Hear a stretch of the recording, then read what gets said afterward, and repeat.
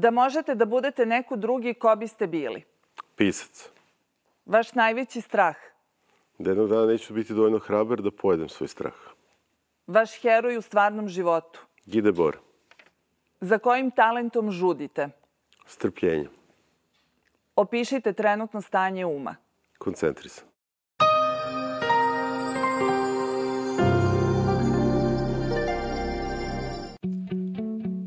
Specifičan filmski jezik, filozofske ideje, kritički diskurs, umetnička i životna radoznalost određuju biografiju scenarista i reditelja Vladimira Perišića.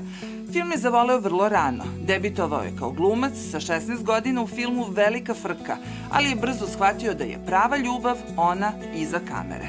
Početkom 90. godina 20. veka vreme provodi u kinoteci gledajući po dva, tri filma dnevno. Upravo tu otkriva one koji će ga odrediti, Renoara Bunjuela Godara.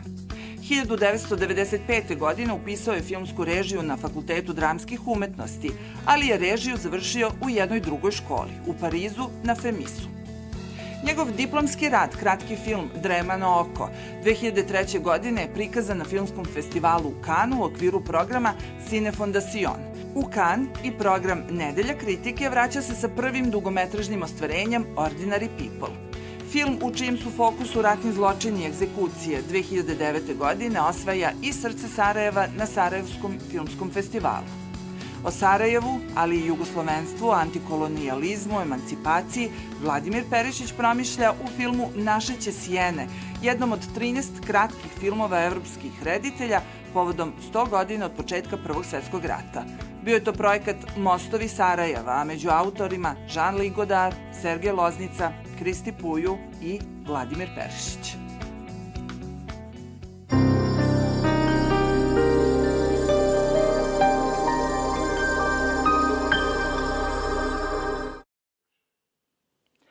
Dobroveče. Ovo je emisija Autoportret sa podnaslovom Portret umetnika u mladosti. A naš večerašnji gost je reditelj Vladimir Perišić. Vladimire, dobroveče. Dobroveče. Koga ste pozvali u goste da sa vama oslika vaš portret ili autoportret? Pa moj prvi gost za večeras je Aleksandar Perišić, profesor književnosti i uh, postkolonijalne teorije, koja je takođe moja sestra. Vjerojatno osoba ko, koja me dobro poznaje u mojoj mladosti, ali sam je zvao kao gosta zato što ako je film moja neka zvanična ljubav ili supruga, književnost je uvek bila jedna možda neostvarena strast ili ljubavnica. U kući su bile prisutne dve umetnosti kroz majku koja je bila profesor i književnosti i književni kritičar. Književnost i kroz tatu koja je scenarista je bio prisutan film. I kako sam ja ulazio u taj pubertet 90-ih, roditelji su zaključili da je vreme da Aleksandar i ja koji smo delili jednu sobu, svako dobije svoju sobu. Tako sam se ja u stvari našao u tatinoj radnoj sobi, a tata je napravio sebi novu radnu sobu. Međutim, u toj radnoj sobi su ostale sve njegove knjige vezane za film. Ti se, na primjer, sećaš uh, tatinih knjiga, a ja se sećam redova i redova VHS kaseta tatinih. I onda se pitam da li su neki od tih filmova koje smo mi imali u kući razlog zašto si zavoleo film? Od tih kaseta pamtim Buster Keatona. I burleska kao žar filmski nešto što volim, u čemu se nikad nisam probao, ali imam jednu ljubav prema burleskici. Ali ne mislim da odatle došao utjecaj. Da, da su kroz ove neke prve knjige je krenulo jedno interesovanje za film. E, da sam krenuo u tu filmsku školu Zorana Popovića. E, probao sam e, prijemni na režiju na FDU, bio sam primljen kao prvi na listi. I uh, film koji je koji smo imali da analiziramo je bio Bressonov film Mušet. Mislim sam tu prvi put osetio koja može bude snaga filmske umetnosti ili gde leži snaga filmske umetnosti. Pošto pričamo o početcima, u stvari tvoj prvi dodir sa filmom je prošao kroz glumu, a onda si odlučio da pređeš sa glume na režiju. Pa, prvi dodir je, tata me često vodio na snimanje svojih filmova i um, I onda se desilo da sam je uvek trebalo neki klinac koji nedostaje u tim kasnicima, pa su, mene uzimali. Ali da nije me gluma privlačila. U stvari, sam jedan tim svim snimanjima bio vrlo problematičan, sam stalno išao iza kamere da nešto reditelju objasnim kako bi bilo bolje da se uredi. Na koji način vas je e, prosto odredila ta francuska škola i francusko obrazovanje? Vezan Fadun napustio na, na drugoj godini, jer recimo ideja filma koju je ta škola uh, negovala ili nudila nije meni odgovarala. I u stvari, uh, tokom tih prvi godina i po dana studija režije sam se ja sad preselio iz tatinu u maminu biblioteku gde sam otkrio uh, francusku modernu poeziju. Pre svega Remboa sa tim njegovim Ja je neko drugi.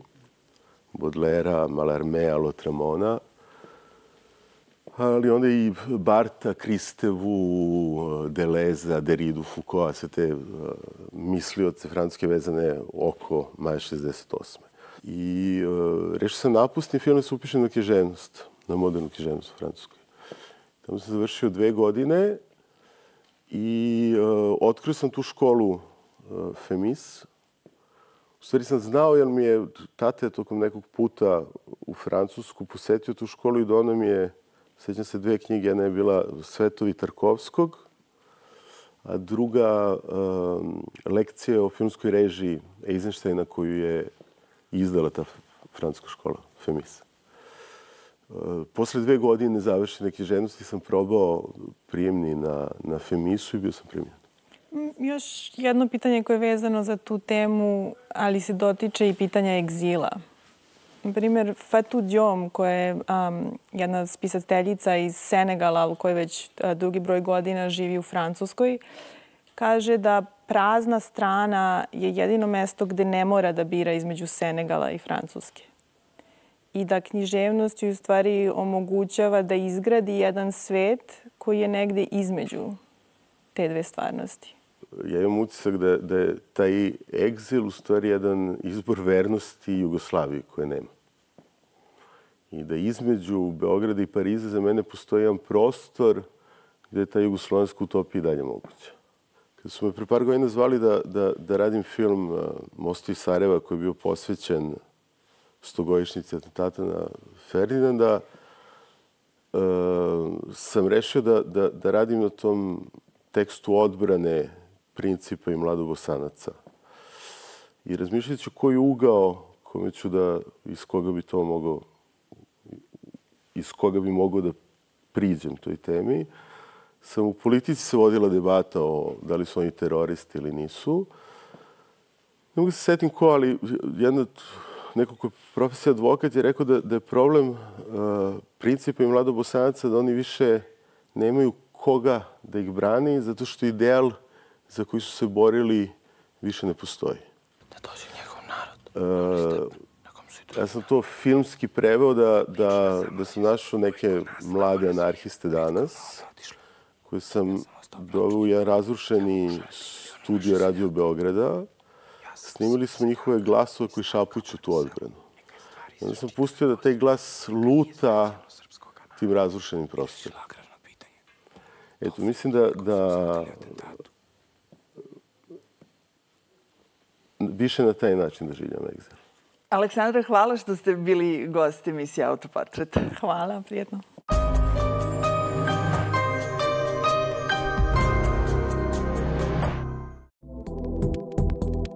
Narodna biblioteka osnovna je 1832. godine, a zgrada u kojoj se nalazi je počela se gradi 20. oktobra 66.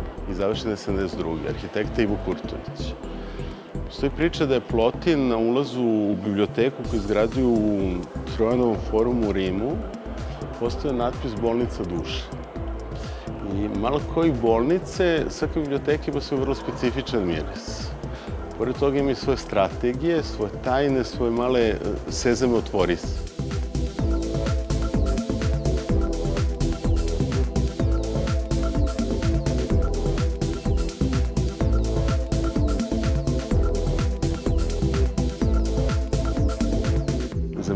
biblioteka jedna vrsta uh, duhovnog i prostornog lavirinta. Sa dobrom bibliotekom imam utisak da u nju mogu da uđem, a, a da mogu nje, iz nje da i ne izađem. Jedna od funkcija biblioteke koja me interesuje da, da, da su one tu da vam moguće da, da otkrijete knjige za koje niste ni znali da postoje. Tako da je biblioteka kao neka vrsta sobe pune potencijalnih prijatelja. Ali jedna vrsta raskrsnice snova čovečanstva.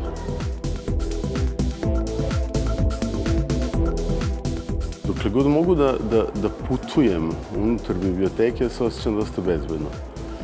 Tako da biblioteka interesuje kao jedno mesto egzila iz stvarnosti u jezik, ali jedno mesto azila od stvarnosti, odnosno neke luke mira i slobode.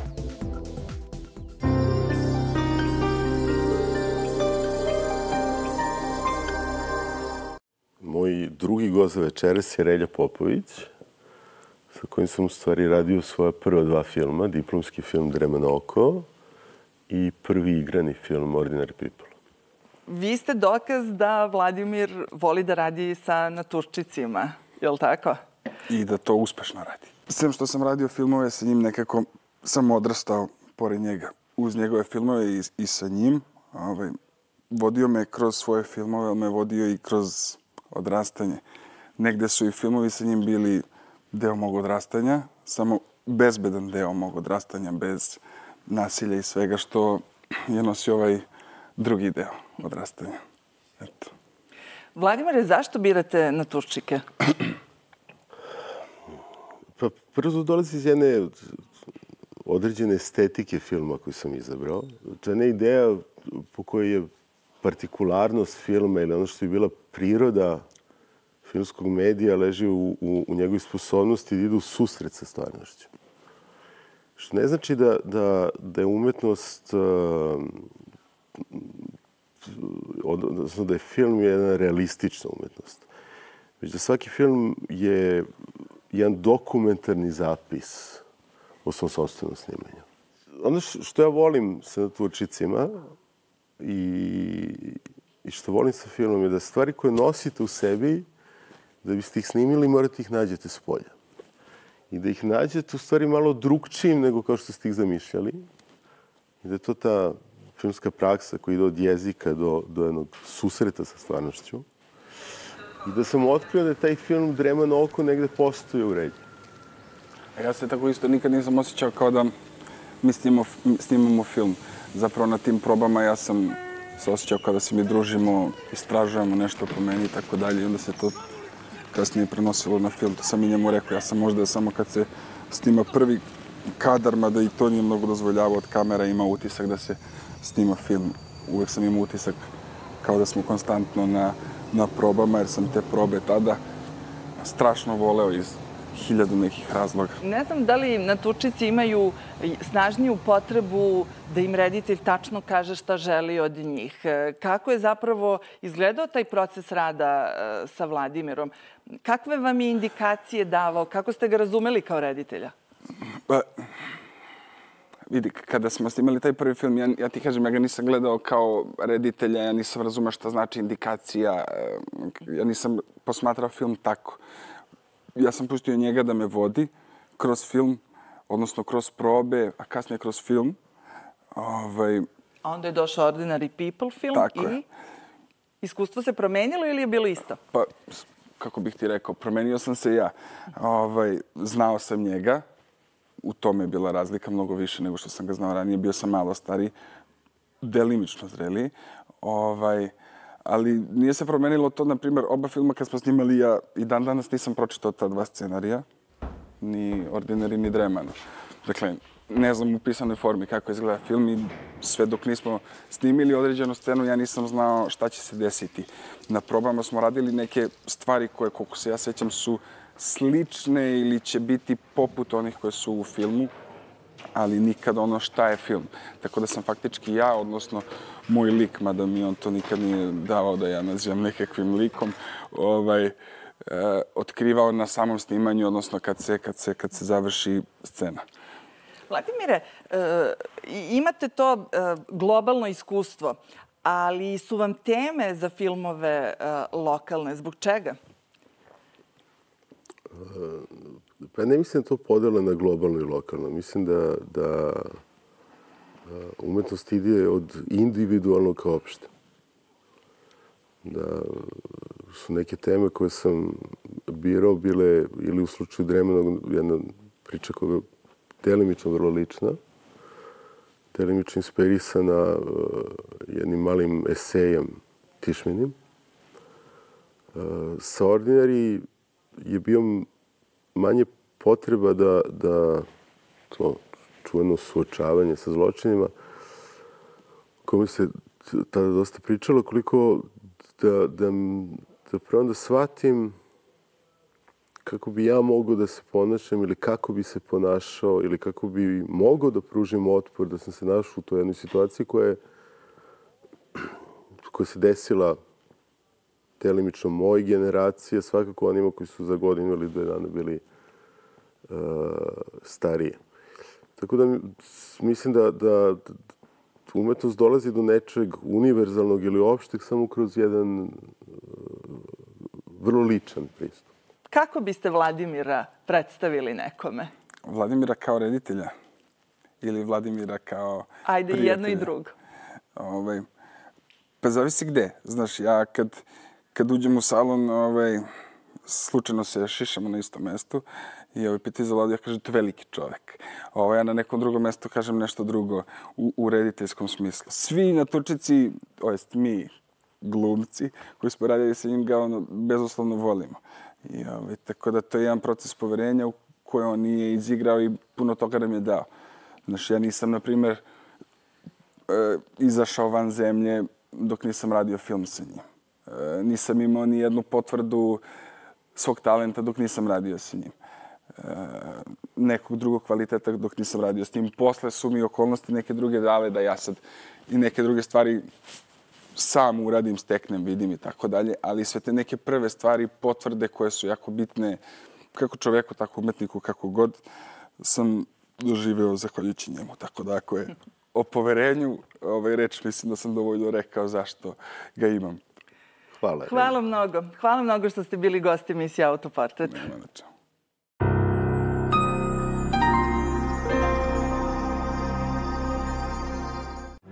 Izabrao sam film Nemačka nulta godine, Roberta Rossellinija. Rossellini je s jedne strane otac italijanskog neorealizma, sa filmima kao što su Rim, Otvoren grad i Paiza, ali ujedno i otac modernog filma. Vladimire, šta trenutno radite? Trenutno spremam dva filma. Prvi, Lost Country, je u stvari jedna hronika tri generacije nejugoslovenske komunističke porodice uh, koja prati uh, period od uh, 80-ih preko 90-ih do danas i celu tu jednu metamorfozu našeg društva koje je prešlo sa socijalističkog na ovaj neoliberalni kapitalizam. Drugi film je jedan mali film koji bih htio brzo da radim, koji je negde slobno inspirisan ovom Sanaderovom aferom. Bez da želim da to bude film o Sanaderu, već me ta situacija da je Sanader u jednom trenutku kad je krenula ta priča o njegovom hapšenju, rešio pobegne sa čerkom. Stvari je priča o nekome ko umešan u ove privatizacije koje se dešavaju ovako kako se dešavaju kod nas i koji beže u Budimpeštu sa čerkom od koje krije tu stvarnost, uhapse ga i ona se kolima vraća sama e, nazad za Beograd i u stvari vidi tu drugu stranu privatizacije. Znači, lice i naličje i sretne se s jednom devojčicom njenog godišta koji je iz radničke porodice. I sad opet, što me interesuje sa tim filmom je, je, je ta tema susreta. Susreta dve devojčice koje dolaze sada iz različitih klasa. Vladimir, kad neko uh, postigne takvu vidljivost kao uh, što je bio vaš slučaj sa vašim i diplomskim radom i prvim filmom, bili ste na Kanskom festivalu u različitim selekcijama, čini se da će mu nekako biti vrata više otvorena za snimanje drugog filma. Međutim, nažalost, do vašeg drugog filma još uvek uh, čekate. Zbog čega? Zbog čega je teško mladom autoru snimiti u Srbiji drugi film? Sad, tu, tu ima dve stvari. Ja sam posle ordine rešio da se uh, više vremena provodim u Beogradu.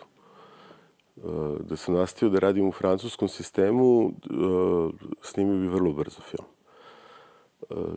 Tačno je da cela neka generacija koja je moja ili bliska mojoj, uh, koji su imali uspeha na festivalima Maja Miloš, Nikola Ležajić, Stefan Arsenivić, da svi mi nismo snimili film iz prostog razloga što ovde film uh, ska industrija više ne postoji i da ne postoji sistem finansiranja, niti postoji jedna volja uh, da, da, da se izgradi jedna kinematografija. Uh, u Jugoslaviji smo imali kinematografiju, u Srbiji mi nemamo kinematografiju. Ona je neka vrsta individualnog ekscesa. I sad što se mene tiče, mislim da, da je ta pauza bila duga, zato što u stvari um, nisam tačno znao gde da idem posle ordinarije. Da sam čak i radeći taj film, ja negde, se tu deluje dosta suludo, ali verovao da, da, da time branim neku ideju Jugoslavije da, da će ta zemlja opet postojati kad sam shvatio koliko to bilo daleko od stvarnosti, uh, mi je trebalo neko vreme da, da razumem gde dalje idem. Uh, da mi se taj model francuske integracije više nije bio neki pravac u koji sam htio da idem. I da mi je trebalo neko vreme da, da, da razumem koja je to priča koju ja pričam ako ostanem ovde. I iz toga je nastao Lost Country koji u stvari opet priča o toj Jugoslaviji i njenom nestanku na drugačiji način. Vladimire, hvala što ste bili gosti emisije Autoportret, portret umetnika u mladosti. Hvala vam.